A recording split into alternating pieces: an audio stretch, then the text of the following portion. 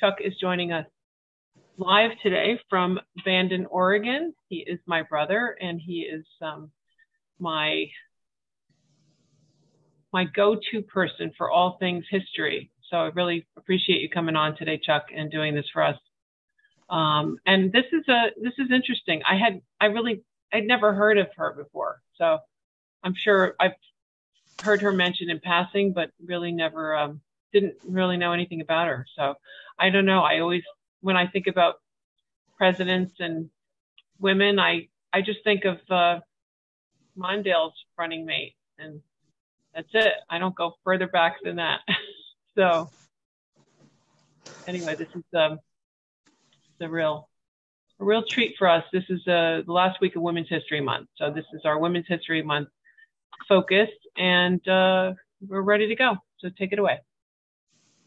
Thanks, Michelle. Uh, once again, it's my pleasure to be here, and uh, it's extremely exciting to uh, bring this presentation to you today. Uh, as Michelle mentioned, we're going to be learning about uh, the life and times of Belva Lockwood, uh, a really remarkable person who history has mostly sadly forgotten. We're going to try to boost her back up to her due place in history. She was a true pioneer when it came to equal rights, uh, a suffrage battler her whole life, mostly for for the right for women to vote and just for equal pay, for an equal chance to, to, to, to earn a living. Everything she fought for was about equal rights. And, um, and I think we'll learn uh, she did a very wonderful job in, in, in uh, setting out to do so. So we begin the story of Belva in uh, upstate New York. Um, she was uh, born Belva Bennett uh, to a farm family in upstate New York near the town of Royalton.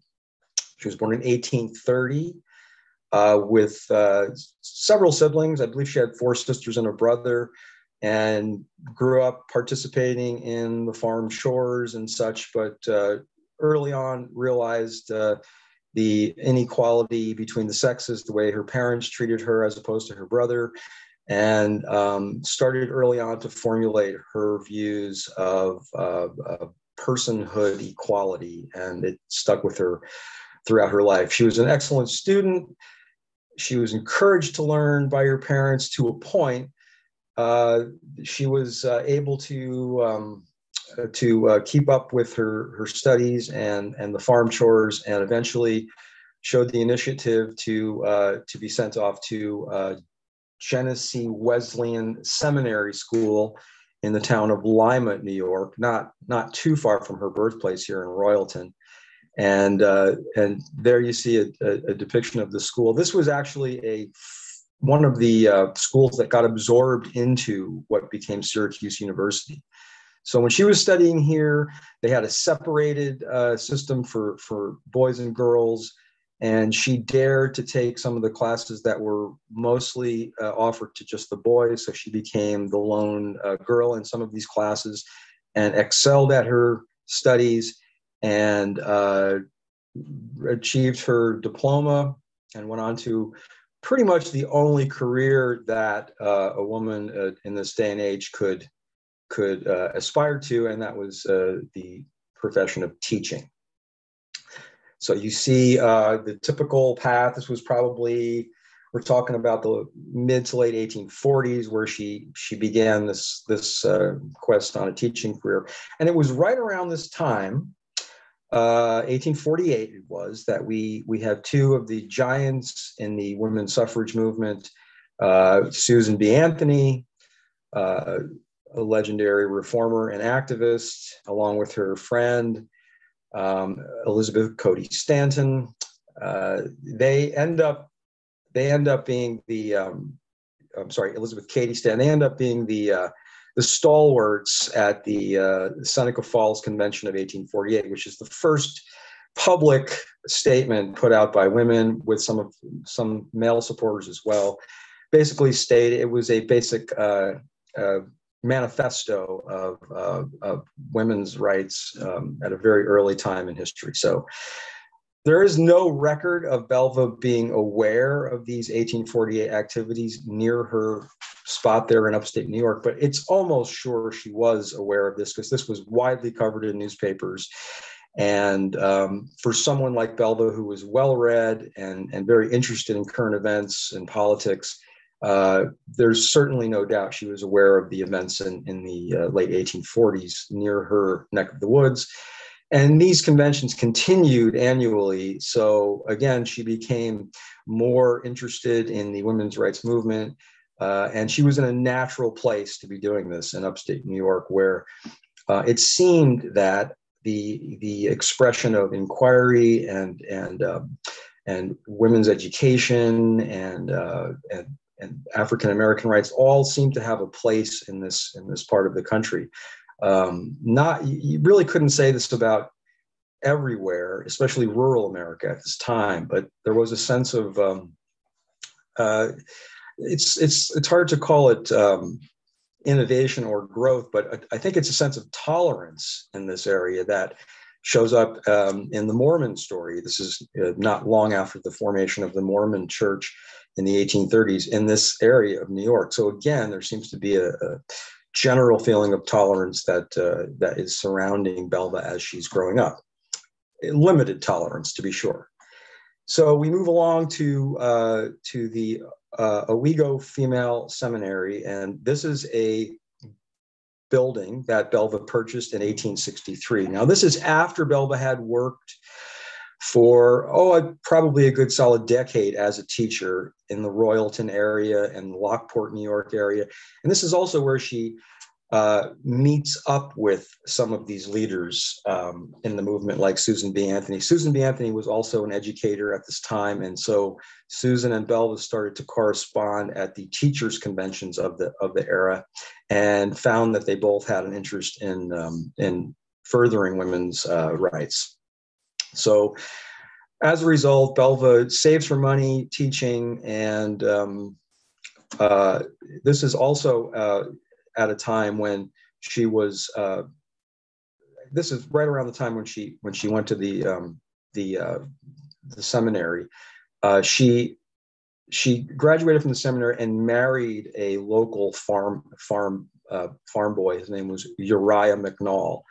Uh, they did have a child together, and he died very soon after that when the when the child was was was a mere toddler. So uh, Belva was widowed at a very young age. She got married around the age of 18 and was widowed by her early 20s. So this gave her the freedom in a sense that others did not have. She ended up leaving her baby uh, with her parents and continued on her education at the uh, Genesee uh, seminary. So this was done with a small ch- child back at the house, and she continued on uh, by leaving her her child with relatives again and purchasing this building in Owego, New York, in 1863. This is in in southern upstate New York, so near the Pennsylvania border, and she runs a very successful business for a very short time, uh, only a two year period, but ends up selling the school, which was a boarding house as well, and doubling her money on the transaction.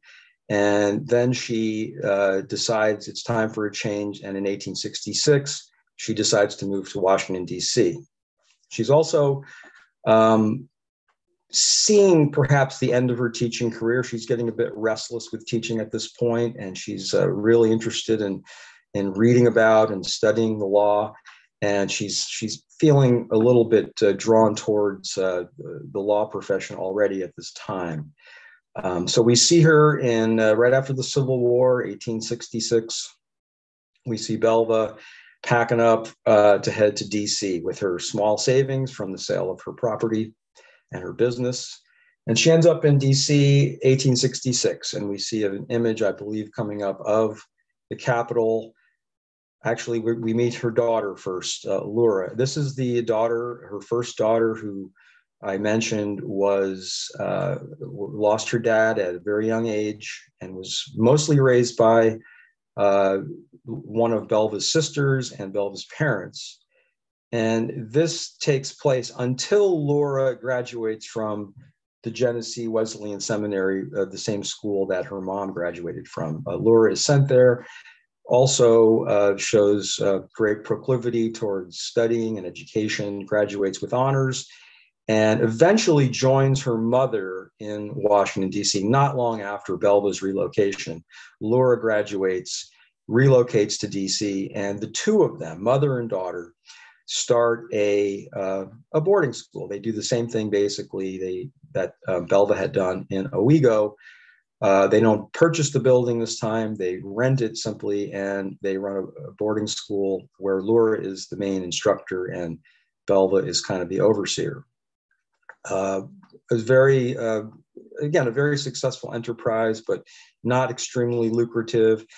Uh, we see we see um, the rise at this point also of uh, the woman on our screen now, Victoria Woodhull. This is the uh, the late 1860s now.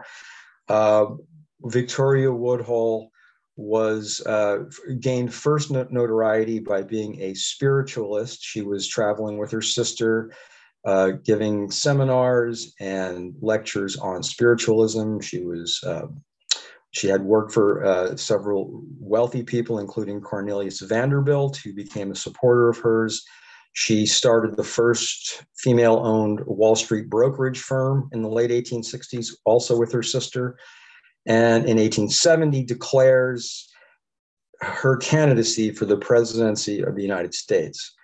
Um, this was done um, as much as a uh, publicity stunt as it was a sincere uh, attempt to become president. She was not eligible to run for president uh, simply because she wasn't old enough at the time.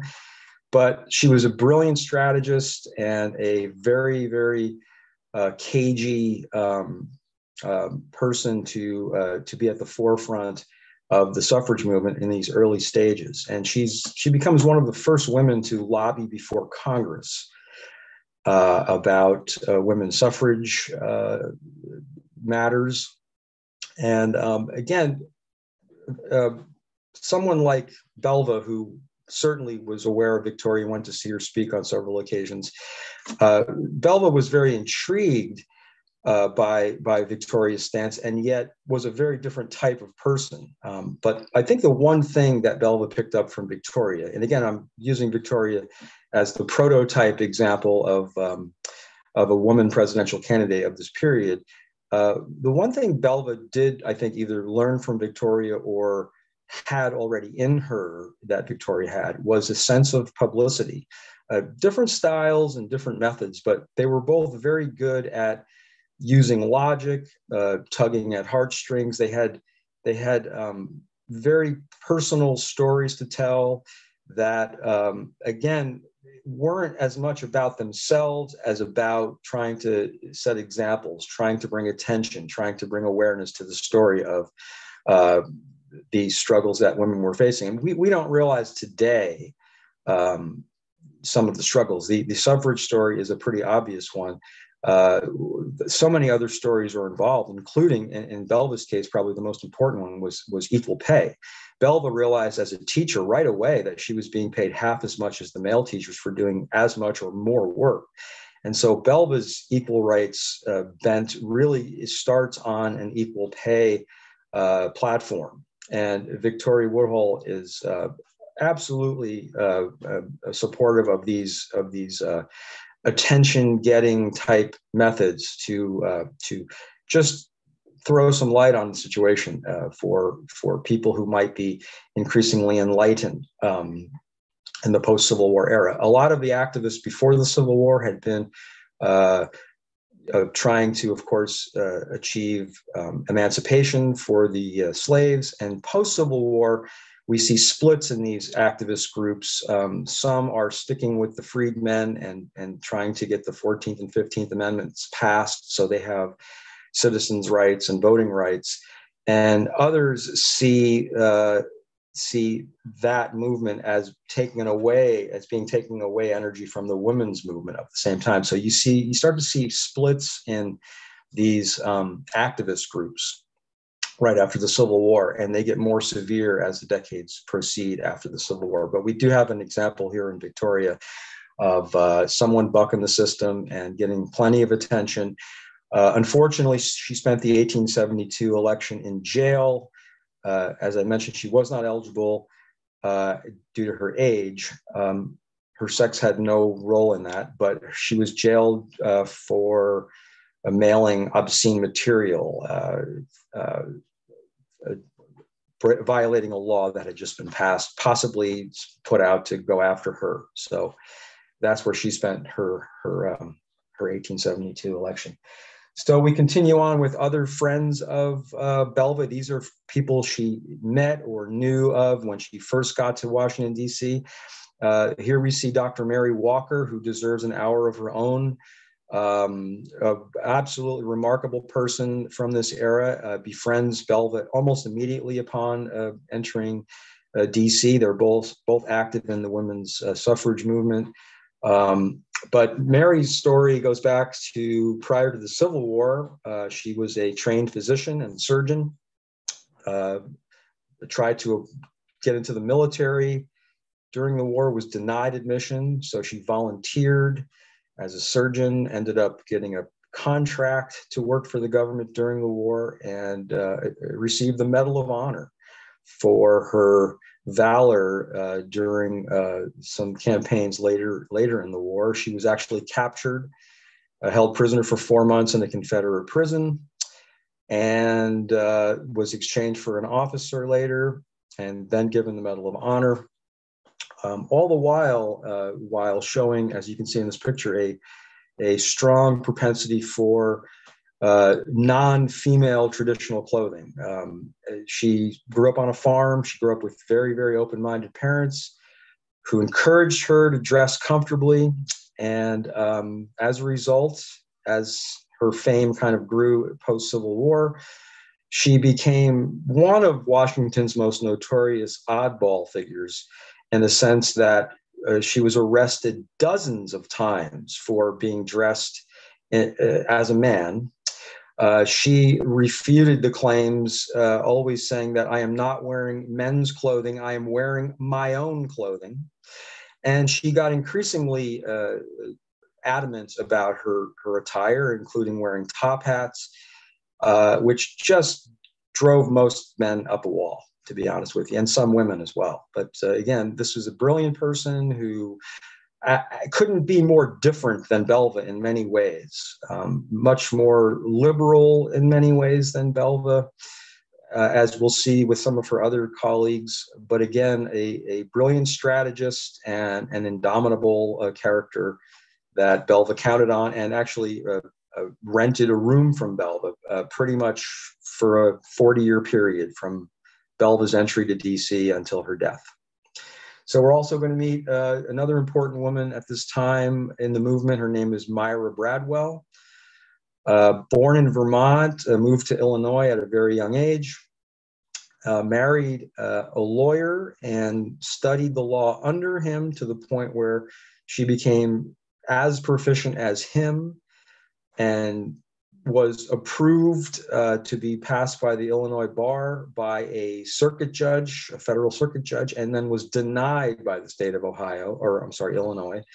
Uh, it was uh, knocked around all the way up to the Supreme Court, and they denied the, uh, involvement in this case at the Supreme Court level, saying it's it's up to the state. Um, the state can decide whatever they want, whoever uh, passes their bar, uh, you know, it, it's up to them. So they they they re, they declined um, intervening, and this is a common tactic of the courts at this time.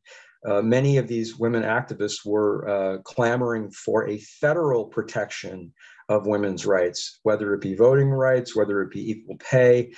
Uh, they saw that the states were not for the most part, out to protect them. Um, and they were looking for federal protection, particularly after the 14th and 15th Amendments passed. Uh, well, certainly the 14th, um, because a lot of activists were using the, the, the right given to Black men to vote as the right for all citizens to vote.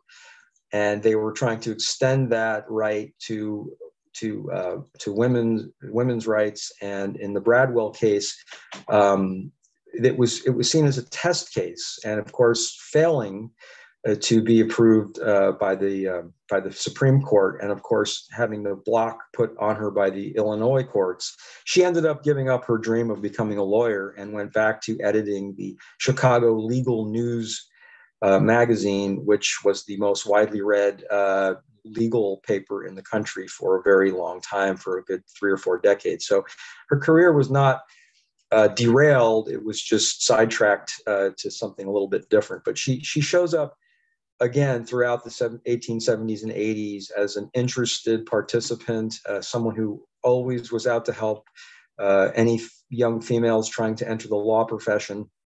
And she became kind of a, a go-to uh, troubleshooter for a lot of these people. So her, she took more of a backseat role, but again, plays a big role early on in in the perception that Belva is is is um, is up against in, in DC during the 1870s. And our last uh, friend of Belva's we'll meet at this point is uh, a woman named Matilda Gage. And this is someone who, again, we should know more about this woman, uh, a very dynamic writer, editor, publisher, activist.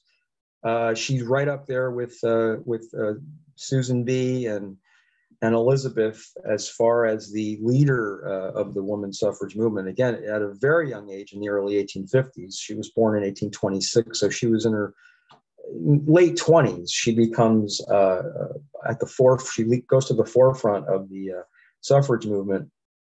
Um, her her route gets a little more radical than than some of the more traditional older uh, suffragists she founds her own group, uh, the, the Women's National Liberal Union, in 1890 in response to what she thought were uh, takeovers by more conservative women in, in the group. These were the temperance women.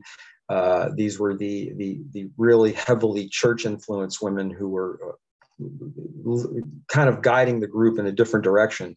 Uh, Matilda was a champion of, of, of free thinking, and uh, she, she railed at very, very much of the church uh, uh, patriarchal structure. And here's a quote from Matilda Gage from 1883, uh, a, a piece she wrote called Is Woman Her Own? And the quote is regarding uh, trial cases uh, where, where the, the women victims are uh, basically um, in the middle of the uh, of the of the publicity of these trials. And she says quote many a woman has laughed a silent derisive laugh at the decision, decisions of eminent medical and legal authorities in cases of crimes committed against her as a woman never until she sits as a juror on such trials will or can just decisions be rendered end quote and again, she saw so many uh, problems in the system regarding uh, a woman just able to defend herself in, in, a, in, a,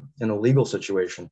Um, her radicalness uh, never alienates her from Belva Lockwood, though. Again, Belva has friends on the way conservative side and the way liberal side of this, and Belva kind of ends up in the middle of it all. She sees value and usefulness on, on, on both sides of her but again presents a much less controversial uh, within the realm of controversy that she's you know a woman uh, out there in a man's world um, she takes a much more conservative approach to her to her uh, correspondence and her her um, expressing herself and there, there's a really great great quote by the author i wanted to read now this is the author uh, of the only biography that I know of, the modern biography of Belva. This is this is the uh, the main book here, and I just want to read a quote before we get to the next person.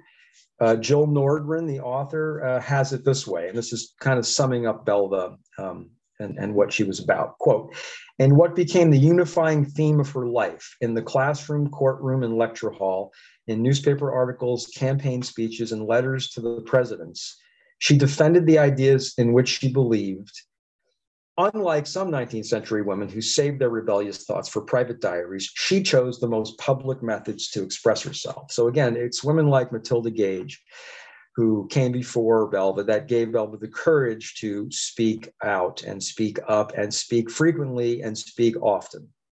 And to do this, of course, it couldn't just be within a, a woman's circle. There had to be some men involved as um, troubleshooters, as interference runners, as the presenters to an all male world of the women's story. And we meet uh, one of those people coming up here. Uh, this is a key figure in the fight that Belva was going through in the 1870s to become a fully fledged lawyer in Washington, D.C.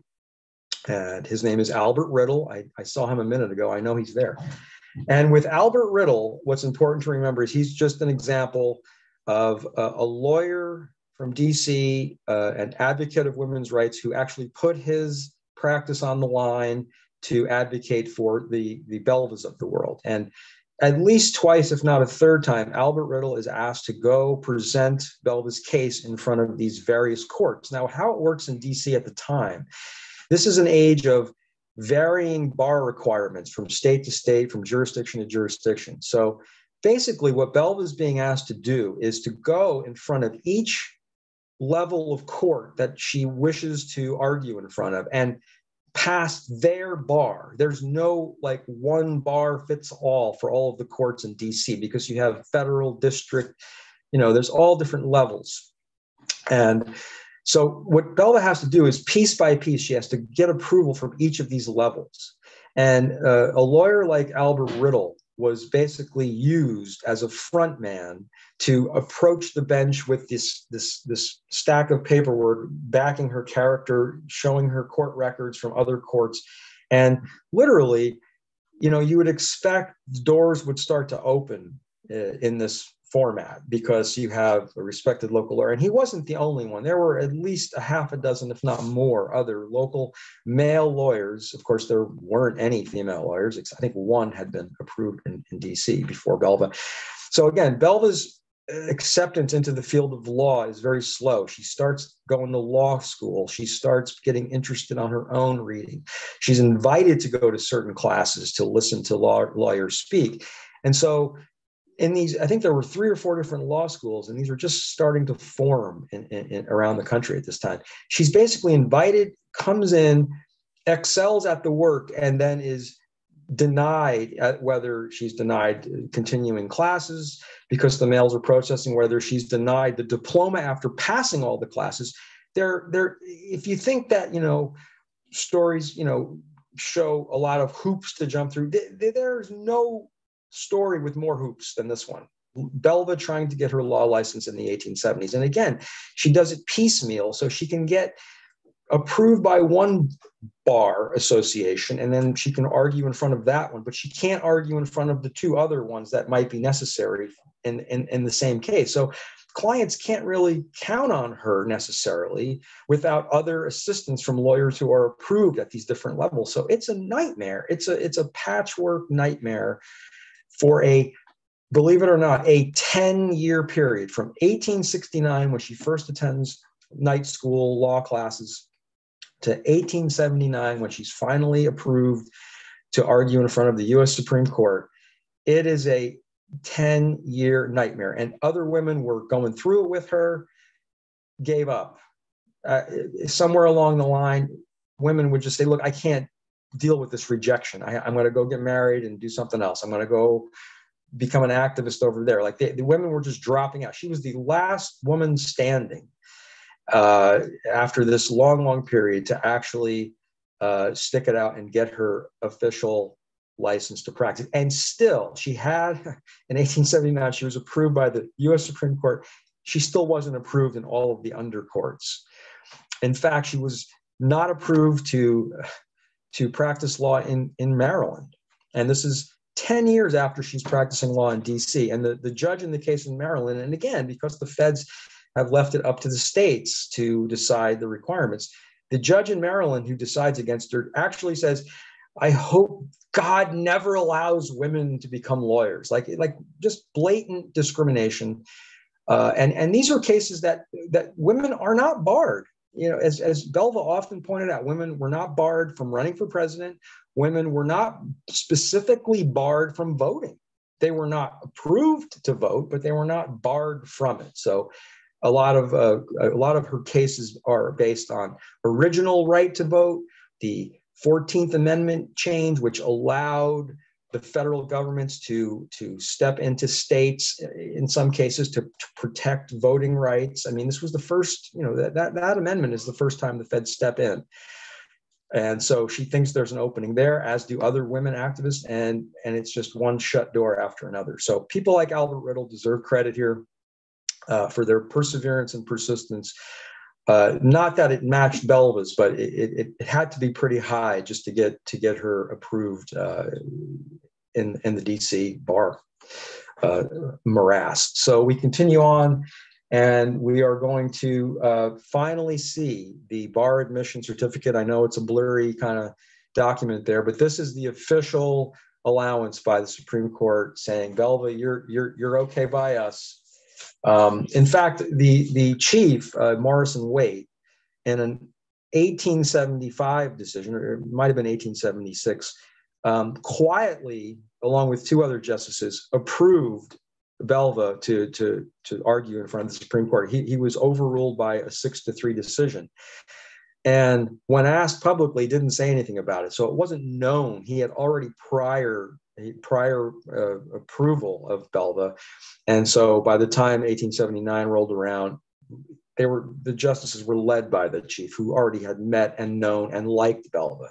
In fact, when she's there getting her final admission into the bar, Chief Waite looks at her and smiles and says to the, the presenting lawyer, Is there any character issues with her? Like it was kind of an inside joke because he already knew she was she was good to go. So anyway, we have this this uh, long-awaited uh, bar admission, and at the same time, there were other courts she could not argue in front of. So it wasn't a full lawyer position. As a result of the uh, the decisions here, um, she's limited in her law practice. She she ends up taking a lot of smaller uh, claim cases, um, pension claim cases with the government. She she lobbies the government as well to to increase funding for these pension claims, of course, helping her own business in the process. And um, she has a fairly successful practice at this point. It's not big, and it's also um, not done alone. She she had uh, remarried earlier in the decade um, a, a, an elderly dentist. She was in her late 30s, and he was in his mid to late 60s. His name was Ezekiel Lockwood. They did have a child who did not live um, more than a year and a half. Uh, so um, it's a it's a it's a brief marriage. He ends up dying, um, I think, six or seven years into their marriage, in his mid seventies. Um, we'll, we're almost ready for the bicycle pioneer, but but uh, what Ezekiel Lockwood's uh, marriage to Belva uh, did is it, it got her into a different circle in DC. And it was basically um, the small claims uh, uh, court circle. Um, he was involved in helping pensioners uh, receive government claims. She uh, started basically her pre-law career was was helping him with these claims. So she had a great familiarity with the, the processes and the paperworks. And um, when he passed away in the mid 1870s, she was very well poised to uh, build up a a a kind of a uh, limited law practice. Um, and one of the ways she built up her practice was by utilizing the newfangled contraption known as a bicycle to get around town. She was one of the first women to own a bicycle in Washington, D.C. Uh, this picture is from the early 1880s. And she was widely ridiculed and criticized and her response was simply, I get around quicker and I can see more clients. It's actually really good for business. It was strictly a practical thing for her. You know, she wasn't trying to show off. It was just a way to get around, you know, and and and again, DC was a big enough city. It really, it really helped her mobility. So she didn't didn't mind the publicity and absolutely loved the convenience of, of the bicycle. And so we continue on in the 1880s. Now, um, Belva has built her practice up. She's well known in DC legal circles. She's a very forceful speaker. She's not a dramatic speaker. She doesn't really, um, she's on the dry side, doesn't use a lot of humor here, but she's got a lot of hubris. She's got a lot of confidence at this point. Uh, so we're into the 1880s now. So there's been, I think, at this point, four perhaps we're on the fifth president that's been in DC since she got there in, in 1866. She wrote letters to every single president uh, asking for consulships, um, pleading the case of uh, equal pay, uh, asking President Grant to overrule the board of directors at one of the law schools she was at, the National Law School. She really did feel free to express herself and, and did so. Uh, with with no problem, and sometime in the 1884 campaign season, uh, the the women's uh, suffrage uh, groups that were uh, campaigning for Republicans and Democrats um, again real are starting to realize that they're not really going to be included in their platforms. For example, in 1884's uh, Republican convention during the summer, uh, women were asked for the uh, for the uh, right to stand up and speak, and were shut down and blocked from speaking at the convention, which angered many of them, and uh, they decided uh, these angry um, branch folks decided to go off on their own. And they began this it's the second formation of what's what was known as the equal rights party. And they nominate uh, people for president and vice president who aren't aware there is a party or that they are the nominees. So when they find out they refuse. And eventually the nomination comes around to belva lockwood. And um, at first it was seen as a prank. In fact one of the women who nominated her Clara Foltz uh, later broke the news to her that, you know, we really did this as kind of a prank. But Belva took it very seriously. And even though she wasn't nominated until late August, early September of 1884, she threw herself full force into this campaign. Uh, one of the things she repeated quite often was that I can't vote for myself, but I can sure run for president. There's nothing in the Constitution that says I can't. And she was right about that she was right about a lot of things. And here's another quote from Belva uh, around the same time as she's entering the presidential race. Quote, it is quite time that we had our own party, meaning women, our own platform, and our own nominees. We shall never have equal rights until we take them, nor respect until we command it. End quote. Very forceful, very, uh, very exacting. And again, never took this as a lark. This is a woman who not only took the job seriously uh, as presidential candidate, she also uh, organized electors, uh, set up her own campaign tour with virtually no money. Uh, she ended up charging admission for her presidential lectures, and she ended up after the campaign with 150 bucks. So she she claimed she was the only candidate who came out of it with money, which is probably true. And also, she captured the attention of the nation at this point. She was a regional, regionally known person, a minor celebrity perhaps in, in legal circles in DC and the East Coast. And now she becomes a national figure. Uh, a, a, man wrote her a poem which she had published because she found it so amusing. And the poem went, Oh, Belva Ann, fair Belva Ann, I know that thou art not a man, but I shall vote, pull off my coat and work for thee, fair Belva Ann. Uh, again, um, she had fun with these with these uh, little bits of attention. There was another group uh, that a, group of men who got together uh, what they called Belva Lockwood clubs. These were semi-farcical, mild mockeries, I suppose you can say, of Belva, but they weren't done with uh, evil intent. These men would get together uh, at locations where Belva was scheduled to speak wearing Mother Hubbard dresses, which I'm not a real fashion guy, but I'm assuming those are like the frocks, the, the one size frock dress kind of thing.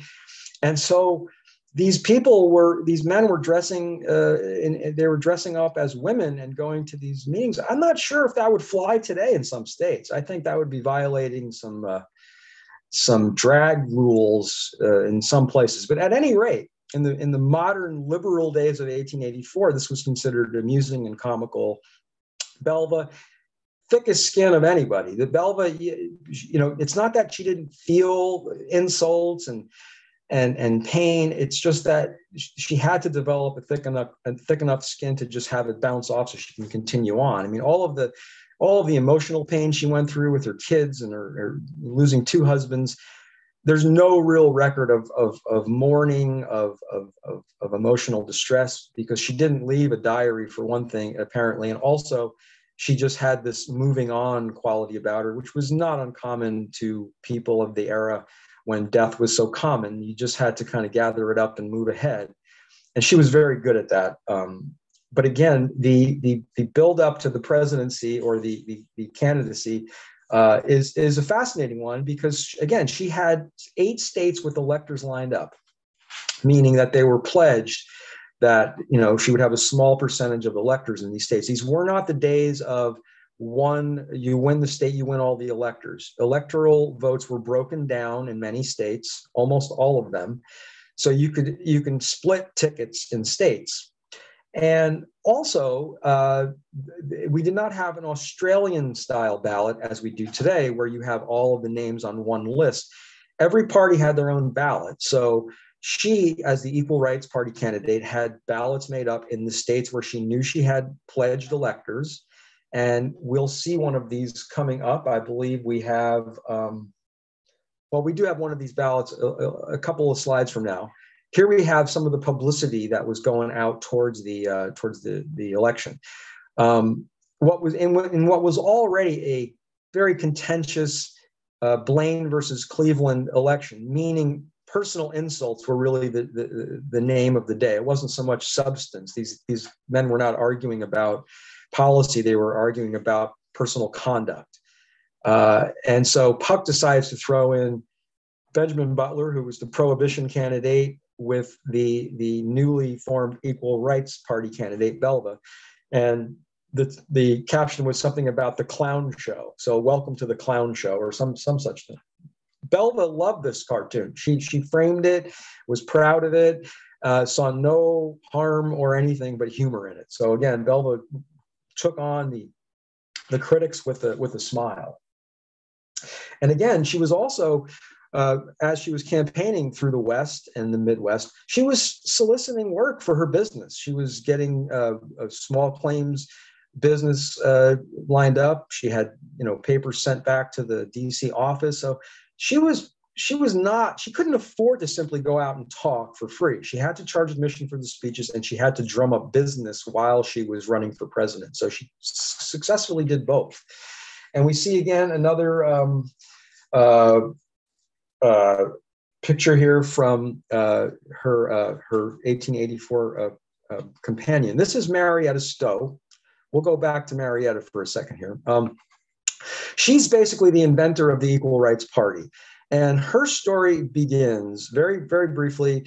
Uh, she's she marries a very wealthy man decades before this event, who passes away in I believe it was the state of California, and the state of California decides that because women can't inherit uh, clearly at this time, uh, that they're going to put it into probate court, and they end up uh, giving her nothing. So, so she she she loses a husband who's worth hundreds of thousands of dollars, and she receives nothing out of the deal because lawyers and the probate court fees and they just drain all the money away. And because she has no rights as a woman to inherit her husband's estate.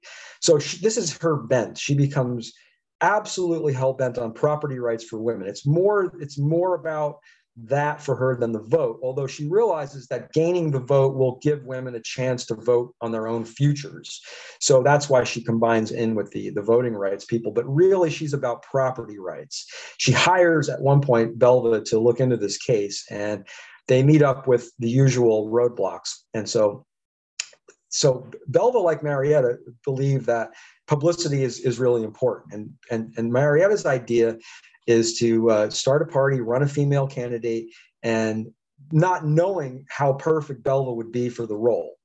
Uh, she had other VP candidates with her, with Belva.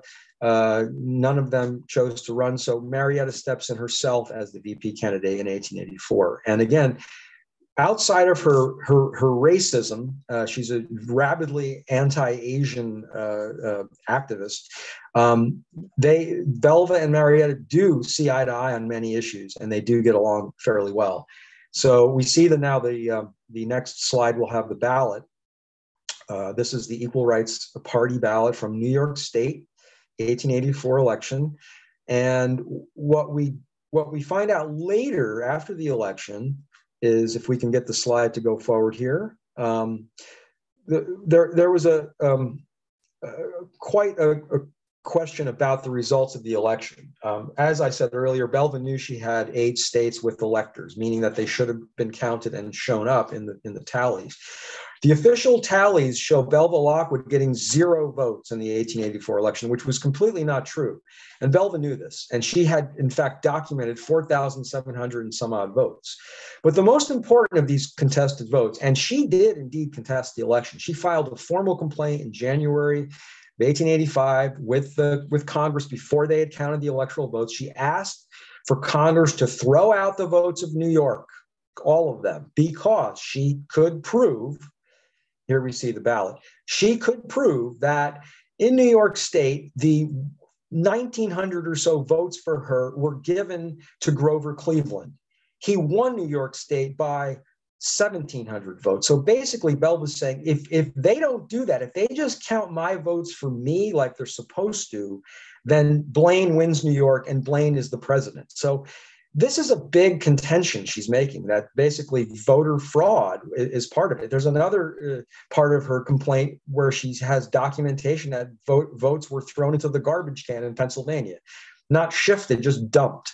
So she she claims it's it's absolutely physically impossible to come out with zero votes when I have eight elector eight states with electors in them. Also correct. However, it, not surprisingly, Congress throws out her complaint and they certify Grover Cleveland as the president about a month after she filed these uh, complaints. So, business as usual. Uh, Belva goes goes back to work uh, being a lawyer. Now, she's again she's not enjoying a, a, super lucrative law practice she's limited to lower level cases and she, this is the period where she decides to branch out and go into the lecture circuit this is connected to her lecturing for the presidency she felt very comfortable with it. She had done it once before in the early 1870s for four months working for a newspaper as a correspondent. So she liked the road. She liked traveling. She liked meeting new people. She liked talking. She liked presenting her opinions. And this was an attempt uh, by a company out of Chicago. I believe she was associated with this company for eight years. So they would send her on these lecture tours.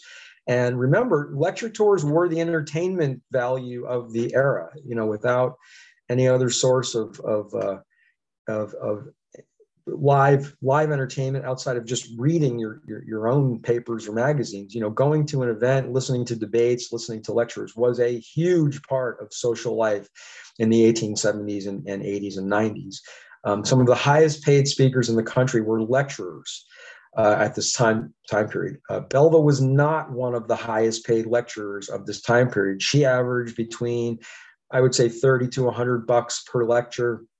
But more importantly, she used the lecture tours as a way to drum up more business. She was able to bring a lot of these claims cases against the government to her office, where she had her faithful daughter, Laura, waiting for these uh, packets in the mail, and she would pros- begin the processing and Belva would come back from the tour and finish helping. And that's how they made their steady income was basically from these small cases Belva would drum up during her lecture tours. But again, the lecturing was not a small part of her income, it was a significant part, several thousand per year. And again, she's building up her fame, she's building up her reputation. And here's another uh, personal uh, lecture uh, poster that she printed out. The first one was printed by the company, this one she did herself. And again, she had to change the topics every year because she couldn't go back to the same, you know, you know, um, uh, arena and and repeat topics. She always had to keep things fresh, and she tended to shy away from the controversy. She actually learned as she was speaking that people did not really want to hear about women's rights very much. It wasn't a topic that was going to bring people in, so she limited her discussions on that topic quite often. Um, figuring uh, there were other times to spread that message. And one of those times, again, came up in the next election cycle, 1888 where she again is chosen by the Equal Rights Party and, and chooses to run uh, for the presidency against Cleveland and uh, the newcomer Benjamin Harrison, the Republican candidate. And this time, um, the novelty had worn off. Uh, many in the women's movement thought she was doing this for a self serving kind of reason and not for the greater cause. So this alienated her from uh, many of her, um, her female colleagues. But she, again, her, her idea was any publicity is good publicity. Uh, bringing attention to these problems is very important. And there was another thing that was alienating uh, Belva from her fellow colleagues at this point, and it was her advocacy of the Mormon church. Uh, her advocacy uh, started with an advocacy of women's voting rights, of course. And in 1870, the Utah legislature had given women the voting right. And of course, this included women in polygamous relationships. And the, the abhorrence to polygamy was so strong during the 1870s and 80s that um, legislation just kept popping up, uh, going after not just polygamy, but the Mormons themselves. And Belva really saw this as an attack on, on, on religious freedom, certainly an attack on women's rights to vote. And she befriended and perhaps even became a paid lobbyist for the Mormon church. We don't know that for a fact, but there certainly are friendly letters and all sorts of commendations from the church toward her because she was so adamant in her support of their freedoms. And she did not support polygamy. This is the weird thing is that she was accused of that by supporting the mormons. She said no i don't support that particular thing but i do support their their right to practice their religion. That just happens to be one of the weird things about their religion. But if you take away voting rights, you're, you're taking away everything. I mean, that's the only way they these women can vote themselves out of polygamy is if they're allowed to vote. So to her, voting rights for women were, were absolutely primary uh, in this in this debate, and she did not care that people like uh, Susan B. Anthony were just dropping from the wayside. They could not support her second campaign. They could not support her supporting Mormons. And she would attack legislation that was going after Mormons. She would attack the senators who were supporting anti Mormon legislation. So, again, this is an odd stance to be taking at this time. She's pretty much alone in, in DC with this, uh, with this story. And, um, her other focus later in her career becomes the peace movement. And we'll see in the next photos her posing with the members of the Universal Peace Union.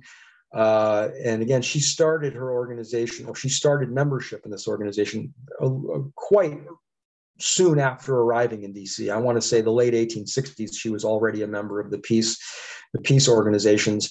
Um, but uh, increasingly, as she as she got older, she saw the need for focusing on arbitration as a means of getting out of world disputes as opposed to war. So she became a really strong and strident anti-war activist through her, her peace work. And again, it, it wasn't impractical. She didn't talk about dismantling standing armies as much as she talked about arbitration. She was obsessed with arbitration to the point where uh, again, back to her letter writing campaigns to the president, she wrote Cleveland multiple times about the need uh, to, to, to, at least promote arbitration, focus on it. This, this is a, a, wave of the future. She saw she saw she saw arbitration uh, as being um, the new way, the new world order for resolving disputes, and uh, it would end all of the bloodshed and she she really had a higher belief that you know people were going to figure this out and and, and see her way. Um, we see her again her activism with the peace the peace groups gets much more uh, intense. She's sent to europe by these groups to, to represent the united states in, in some international peace conferences. And she's very very forceful in her in her opinions. Um, and again this is during mostly a peaceful time period uh, in our in our country's history. There is the Spanish American War blip in 1898, but outside of that, uh, we're not we're, we're showing some signs of belligerence, but it's really kind of a holding pattern. And the, and she's trying to push our country in, in an opposite direction uh, from where we seem to be going. Because again, we see a lot of military buildup during the 1890s. The, the Navy's being built up. She sees this as alarming. She does respond very forcefully against the Spanish American War and particularly against occupation of the Philippines. So she's kind of in league with the anti imperialists on this. And she actually testifies before Congress, along with Andrew Carnegie, uh, against the evils of war. And Carnegie's argument on that particular day was well, if you have standing armies, you're going to use them. And if you have weapons, you're going to use them. So you guarantee the way to guarantee future war is to have big standing armies and lots of big weapons. It's not a deterrent. Ultimately, it's an excuse to get into more warfare, which is a fair argument. So again, she's working very, very hard, traveling extensively, uh, meeting with her peace officers, and then another group that came along a little later, the American Women's Republic, the AWR. We see her in the middle, standing proudly uh, as the uh, acting attorney general for the Americans American Women's Republic. Uh, this is not a, a, this is a group. This isn't a, they're not declaring like you know a takeover of a location or anything. But we see Mabel Lewis, the president, and chaplain Reverend Susanna Harris uh, flanking her. And this was Belva at her finest. Uh, leadership groups, um, again, advocating um, peaceful solutions, and uh, again, women's rights always at the forefront. Um, sadly, uh, during this period in the 1890s, she lost her daughter Laura to an illness, and again, it's it's it's not coincidental. Her business started to flounder a bit after this. Her law profession, uh, losing a key member of the of the staff um, and her family, of course, was a was a big blow. Um, so we see her persevering and and we see her still fighting for women's suffrage which she's been doing since she arrives in, in, in dc in 1866 and as we get near near the end um, we see uh, an increasing agitation towards the suffrage movement. This is a 1909 cartoon opposing women's suffrage. We see the the man about to have he's going to have to change some diapers pretty soon it looks like and mom's going out to vote so this was put out to remind men don't don't let women uh, this right. This is going to turn you into diaper changers. Um, so we see uh, an increasing uh, kind of a, a, backlash against the the increasing suffrage movement. But again, uh, Belva's now into her 70s, pushing 80s, and no real changes are being made. In fact, some earlier advances have been have been rolled back. Um, for example, in Utah, the the women's right to vote was revoked before they became a state in 1890. Uh, Wyoming continued to allow women to vote. So again, you know, the struggle, which in the 1870s you had Wyoming, Utah, and the Washington territory a little later allowing women to vote, but there's no advances. There's no other states coming on board. So it seems to be going, it's stagnant or even going backwards. So this is why in 1913, the women's uh, activists decide to really put a show on for the new president, Woodrow Wilson. And they're going to have a big demonstration right down Pennsylvania Avenue, blocking the White House. Uh, and this is the program we see uh, for that event, which Belva was a part of, did give a speech. Again, she's um, 82 at this point and, and is just a tireless lion of of of of energy. Um, again, pushing for her one her one wish, and that's a national a national right to vote for women. Unfortunately, she doesn't quite make it. She passes away in 1917. So this is at the the eve of our uh, introduction into the First World War. So so Belva saw the writing on the wall. She saw the buildup towards war. She originally had hope for Woodrow Wilson and then started losing hope as the war the war drums started started beating louder. Again, she bought into his 1916 uh, campaign speech. He kept us out of war, which turns out to be just a technicality because he was getting us into war while he was using the speech. He kept us out of war. Uh, but again, Belva just had hope, and she was really hopeful that the Wilson administration in the second term would would make a difference. And it turns out she she dies two years before the suffrage bill is passed. And uh, and again, it was not easy.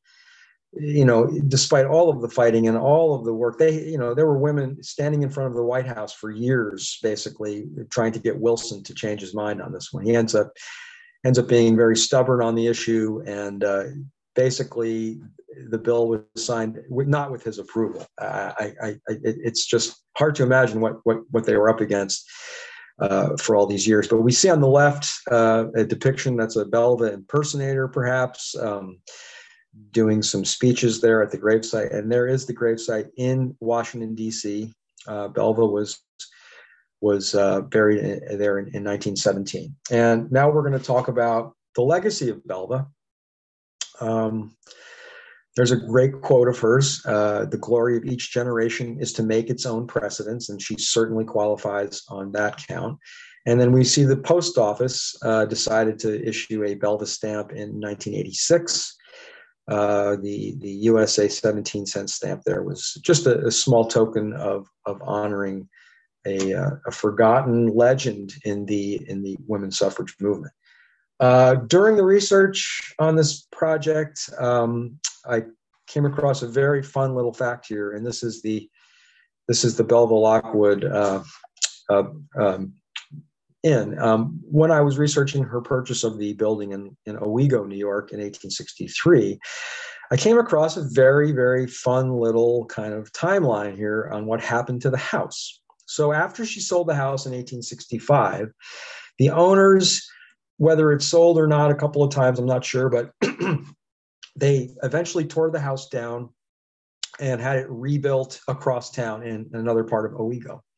So again, it kind of languishes in obscurity until new owners bought it, I believe, in the I believe after 2000 and realized the history of the house and decided to put some research and effort and restoration into it. And in 2019, they opened the Belva Lockwood Inn. Indeed, the same building, only relocated, that Belva had bought and sold in 1863, sold in 1865, and allowed her to get to DC to have the career she had. So it is just a wonderful little honoring of Belva Lockwood here in Owego. And going into the, the, the website of the inn, just a very tasteful job of, of restoring uh, some period uh, furniture and some photographs and, and, and some history of Belva. Truly an honoring of Belva. This isn't simply a place that gave her gave the name and and that's it. This is this is beyond the name. You're going to be infused in Belva if you stay there, and I would I would love to visit. Uh, I think it's just a great idea, uh, historically uh, relevant B and B's, and um, and this one really I hope I hope it's as as lovely as it looks because it sure seems to be. So again, um, honoring Belva, uh, someone who, again, we uh, we lost. It seems a while ago, and there's nothing saying that we can't restore her back to her place in history. A true forerunner, a true pioneer. It took it took just the the fortitude and the indomitableness and the the just never give up spirit to get where she got to to to place her in in, in a in a true state of historical um, uh, appreciation. The sad the, there was a sad ending towards the end of her career though. Um, she was involved in a very long standing case with the Cherokee tribe, and uh, it was a 30 year case. Began in the 1870s and it was settled in 1905. Um, and she was occasionally a part of the case and then was dropped and picked up again. So her connection wasn't consistent, but she was connected to one person in the case by the name of James Taylor, uh, who was an Eastern Cherokee trying to get uh, tribal uh, recognition and settlement money for his, his part of the tribe. When the Supreme Court unanimously agreed in 1905 to pay the Cherokee five million dollars. It was like 1.7 plus court cost plus penalties, whatever, and ended up being close to five million dollars. This was considered the pinnacle of her of her life. This was the, the case she finally won after all these years. She got along wonderfully with this James Taylor person. Unfortunately, though, right before and Taylor was again, they were both very old at the time of the settlement. Um, Taylor was was was uh, near death when the settlement came through, and ended up dying. And supposedly before his death, changed his will, and and allowed his his uh, inheritors, his his his uh, his offspring, to go after Belva for full attorney fees, which locked up her fees in court for a long, long time, and she ended up really not getting paid for the case. So it's a sad story of finally winning a case against the government, only to have the people that you went into the case with go after you. So again, it's it's kind of a sad legacy as far as her last law case goes. But overall, uh, I think her legacy stands up to the test of time simply just for what she had to put up with and uh, and the the never ending um, struggle that uh, we still hear about today equal pay. I mean yes we have voting rights for all almost all but um, the equal pay story no change you know the struggle continues. So again it's a real eye-opening uh, history story to to give you kind of an idea of the origins of of um, certain struggles and the fact that they never really end. They just kind of go in go in circles thanks for listening and if there's any questions i'll be happy to uh, to try to answer Wow, an outstanding presentation. Thank you so much. Very, very interesting. Thank you. Thank you. Chuck, what was the um, the author's name of the biography? Jill Norgren. She's a she's yep. a lawyer. Yep. She's so yeah.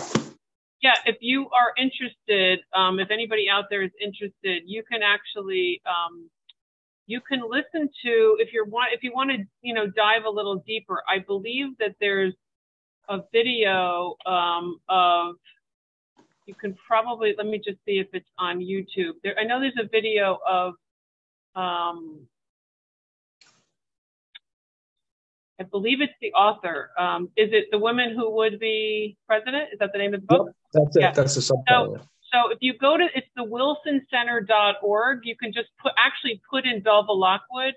Um, you can watch a video of, of a lecture done by, uh, I believe, that particular author. Um, the woman who would be president, um, it's the Jill Norgren. She's the professor emerita, City University of New York, and you can watch her do a lecture um, about her writing this book. So it's available Good. online. So if anybody is interested and they want to dive into that. I haven't I haven't seen it, but I would highly recommend it simply because of the length of time that uh, Jill Norgren spent on this book because of the difficulty in gathering all of the uh, the details and information. Again, there's no like Belva Lockwood Center with all of her papers. Right. Uh, a lot of it was culled from letters she wrote, uh, public uh, sources, a lot of newspaper articles. So it was a very painstaking research project for Jill Norgren, I am sure. And the foreword of the book is uh, written by Ruth Bader Ginsburg. And it's a very nice, very brief, but very nice forward, again, acknowledging the door opening that the, the Belva Lockwoods created for, for everyone who came afterwards. And I believe the book is out of print too. So it's not, it's not easy to get. I mean, maybe libraries probably have a copy but it's well, not an easy book to get. Talk about a book that should not be out of print. it's this this book. Yeah. Yeah. Yeah. Yeah. This book should be required reading instead of being out of print. Yes. Yeah, and the interesting story behind the obscene um, the obscene letters. As soon as you said um, she got jailed, she and her sister both were jailed for for uh, sending obscene things through the mail. What the obscene thing she was mailing was the expose on Beecher, uh, the, yeah. the, the, the, minister, uh, his affair. He had an extramarital affair, and she detailed right. like there were details about the affair, and that was what was deemed, um, yep. you know, obscene, and that's why she went up in jail. Right. She that's the, that's. She was the original free love. Um, yes, but but again, but right but again, free love isn't like it does. It didn't mean then what it meant in, in the Woodstock generation. It, it meant basically freedom of choice of my body. You know, yeah. I want to have kids when I want to have kids, and, and you know that that's really what freedom she was talking about. It, it does get kind of lumped together a little weirdly, but um, again, you know, Woodhull brings this up uh, you know, and again, it comes up again with Belva when she's talking about the Mormons. I mean, she's she's talking about their generally upstanding character. They don't go to taverns. They don't go to, you know, they don't smoke. They don't, you know, they they're they're they're generally you know upstanding citizens in that respect. And yet, this polygamy thing is driving everyone crazy. He's like, look at these people against polygamy. They're adulterers, philanderers. They they're doing back back alley abortions on their girlfriends, but they're against polygamy. Oh, oh, that's yeah, that's really bad. You know. So again, she was sarcastic. Her arguments were sound. You know, again. Eh, what a perspective. I mean, you could read it today and be astounded, but reading it from the perspective of the 1870s and 80s, wow. It's cool to see the process that that Norgren does such a good job of the process of her winning people over with logic, and men especially. There's like there's like men falling into line during the whole story about finally like a lot of them were predisposed to to agree Eh, based on their upbringing or whatever but but you can see some are like wow that really makes sense i have to go along with that you know they're changing their views they're changing their votes basically because she's such a strong arguer of her case and again this is how she was as a lawyer she was not dramatic she was very matter of fact she tried to hit you on the toughest points that you couldn't fight back on. I mean, what, what else is a lawyer, a good lawyer, going to do? So she was very effective. And to see obscure male politicians and lawyers basically tank their careers for supporting her. There's one guy, a senator from Tennessee, I'm sorry, a congressman. I can't I can't remember his name, Ansel or something like that. He he was a short-term representative who boldly backs up an equal rights bill uh, an equal pay bill very early on in in, in uh, Belva's career in D.C. She's basically not even a lawyer yet. She's an activist. She's a lobbyist trying to change legislation. And Arnell is the guy's name, Samuel Arnell. He's he just stands up, and it's in the congressional record. He's just he's he's listing man's wrongs towards women. And just to do that at the sake of your career at that time, it's pretty remarkable. I mean, he, he went away. We never heard about him again because you know, probably because of that speech. Didn't fly over in the home district, apparently. Wow. Did, because again, there was no. A, I was just going to ask if anybody, uh, Marilyn, do you have a comment or a question? You're, I see you. I don't know if you're shake, raising your hand or. No, I that was you know, things pop up on my screen, oh, okay. but no, this was this was fascinating. Uh, you know, all these women that you never heard of. you know, the time has come. Thank Absolutely. You. you bet. Took long enough. and it seems like you could have you could have done you know uh, you could have done a, an hour on each of them in a way. Oh, I mean, absolutely. So, Marietta so much there. Oh, Gage. Oh, man. Matilda Gage is just fascinating. I mean, again, when you see the breakup of the coalition, okay, you have the women's suffrage movement coalition, it starts to break up over things like religion and racism.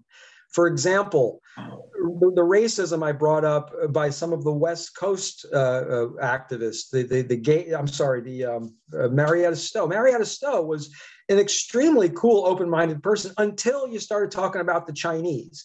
Then she's going to go off about how evil they are. They have to go back. So, so to find comp, true 100% common ground is not possible. So they look for the common ground that they do have on the certain causes, but then you see these divisions start to overtake the common ground. The other division was over religion. You had a woman at this time pretty much in charge of the temperance movement in this country. Her name was Frances Willard. And she was a, a very, very loud, charismatic, anti alcohol to the T person, very, very, very uh, like a righteous kind of a spirit. And this person angered women like uh, like Matilda Gage to no end because Willard wanted to incorporate religion into the government. She wanted to have a religious test for government officials. She wanted to incorporate the word Christ into the Constitution, which totally alarmed a free thinker like Matilda Gage and said, no, no, no, no, no. The church has been a big problem for women over the years. We don't want more church. We want freedom to choose your religion, but we want less of that formality in the mix. So again, these clashes are a big part of the story. You know, it's possible if there was more cohesiveness. I'm not saying this for sure because society may not have been ready, but it's mm-hmm. possible with more cohesiveness, especially when you start with your Anthony Stanton coalition. They're like the leadership of everyone at this time because they're 20 years older or more than everyone else.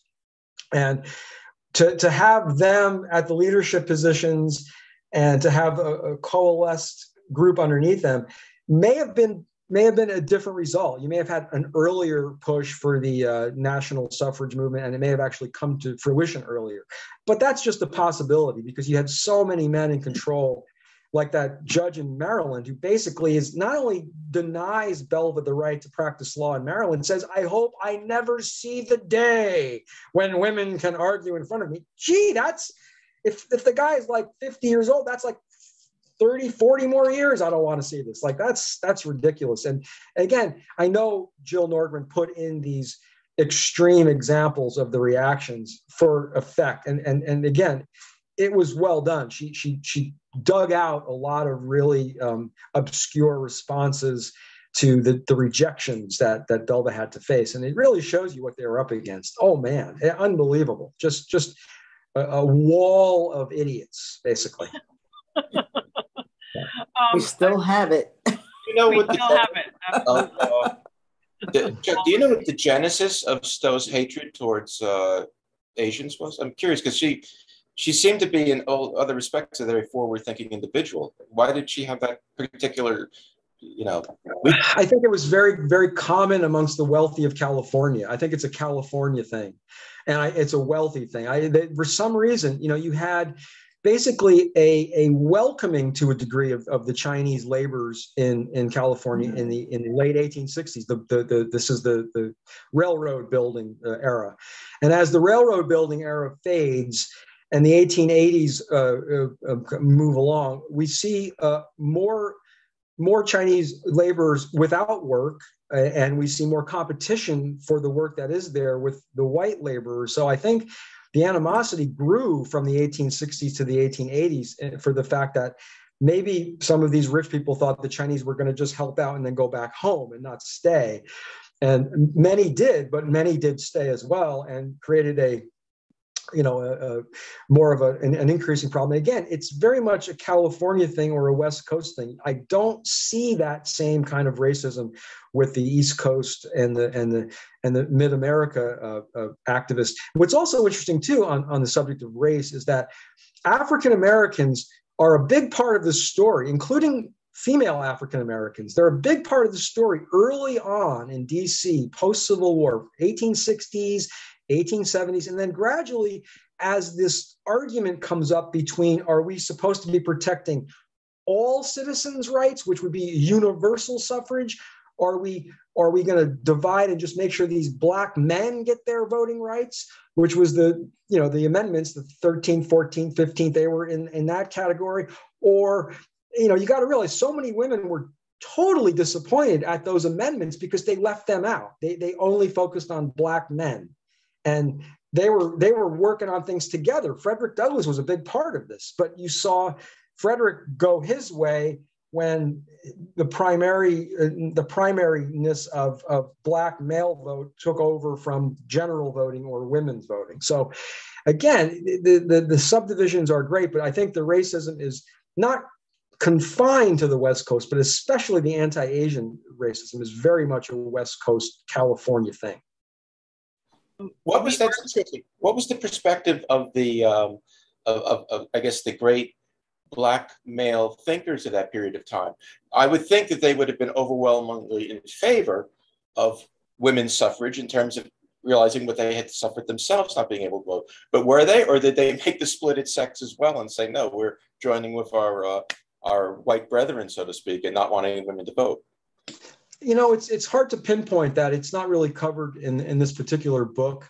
I, I am I'm, I'm I'm assuming there are some scholarly approaches on this topic, uh, which would be interesting to look at because that that's a fair question. Uh, but again, I, using the example of Frederick Douglass, which is the easiest because he was probably the most prominent African American through this period consistently in in many different aspects of life his his if you're going to take his lead on maybe a trend of what had happened then it's per, it's possible that he they followed his lead and, and kind of became more focused on the needs for these freed black men as opposed to w- white women of the north who I, I guess they thought wasn't really a primary topic of concern. You know it was more of a post Civil War urgency, which led to these amendments, which again led to this split in this in this in this women's suffrage debate, because there were people who thought that those amendments included women, even though women it wasn't it wasn't specifically enumerated in the in the in the amendment. The, the word woman wasn't used, but there was a movement at this time. In fact, it was codified in some areas that all uses of the word male from here forward will be considered human beings or persons, oh. not just men. So, so judges before this point were very much particular. Oh, it says male. Sorry, you're out. Sorry, it says male. And also, the other things that really blocked a lot of professional women's uh, uh, advances was was the fact that there was a an old English law known as the law of coverture, and it goes into the uh, effect that once a woman is married, she becomes the husband, basically. She becomes the man. All of her stuff is the man. She has no legal right to enter into any contracts or any businesses because it's the man that now takes over, you know, for that person. So there, there, it's like one person. You're covered. Coverture means covered. The man covers the woman. So this was interesting in Belva's case because as a married woman originally, she was restricted. Then she was widowed the first time. She had freedom of business that she didn't have while she was married. So that's why she was able to buy and sell a school in the 1860s. But once she got married to Ezekiel in 1869, she no longer could have done those things as easily. Although by the 1870s, these laws were being eroded basically by what I just mentioned, things like re- reviewing the use of the term male and basically saying that this now means persons, not just male. Eh, male male was thrown in originally just because women weren't in that field. It wasn't necessarily to keep women out. When women started challenging that, then they had to change the wording officially so they couldn't use that as an excuse anymore. Oh, male only. No, no, no, it's persons now. So that allowed women to basically enter any field they wanted to. However, it did not offer any federal protection. The, the governments and the, and the courts consistently refused federal attempts at protecting voters' rights, whether it was women. I mean, the only federal protection of the black voting right in the South was the Enforcement Act, or the, I think it's called the Enforcement Act, which basically puts the police power behind the 14th and 15th amendments. It puts it puts teeth meaning that states will have to answer to the feds if they don't honor voting rights. And so that, that that's that's not at this time in history that's not normal. Eh, the states had most of the control. So to have even a request for a federal intervention whether it's protecting voting rights or whatever was very unusual and didn't didn't often happen. One of the first cases of a federal protection offered to women happens with Belva's help in the 1860s after she first gets there.